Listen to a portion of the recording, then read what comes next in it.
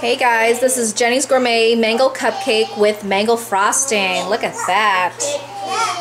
Mm. We're going to chow down for Valentine's Day with Uncle Derek and Miss Lovely Amanda with Sifu Freddie Lee and the five Munchkin Pies and Miss Jenny Lee, me. Alright guys, happy Valentine's Day.